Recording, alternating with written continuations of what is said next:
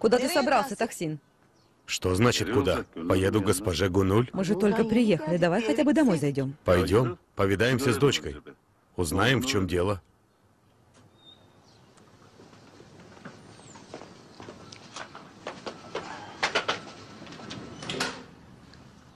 О, добро пожаловать. Здравствуйте. Таксин, здравствуй. Я всю дорогу звонила Джейлан, но ее телефон был отключен. Госпожа Гунуль, вы не знаете, где наша дочь? Все хорошо, дядя Тахсин. Джейлан работает в гостинице. Настроение у нее хорошее, значит, все хорошо. Вы позвонили нам, сказав, что мы должны срочно приехать. Да и дочка не отвечала на наши звонки.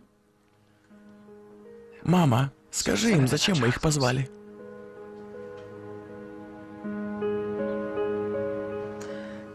Я даже не знаю, как сказать вам это, но дети приняли решение пожениться. Какие дети? Мы с Джейлан. Что за поспешное решение? Вы пока отдохните. Возможно, вы устали с дороги. Поговорим, когда наберетесь сил.